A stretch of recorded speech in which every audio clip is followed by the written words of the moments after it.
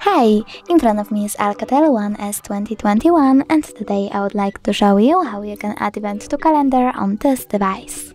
Firstly, access menu. Now find calendar and click on it.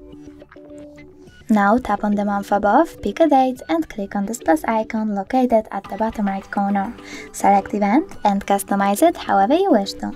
For example, you can add a title, Set up starting hour, ending one, or turn off this feature by tapping on the switcher next to all day.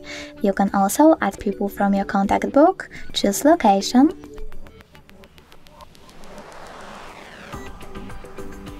set up notifications minutes, hours, or weeks before, and even take notes. When you're done, click on Save at the top right corner and as you can see my event was successfully added. You can always delete it though by clicking on it, tapping on those three dots at the top right corner and selecting Delete. Then confirm your choice by tapping on Delete again.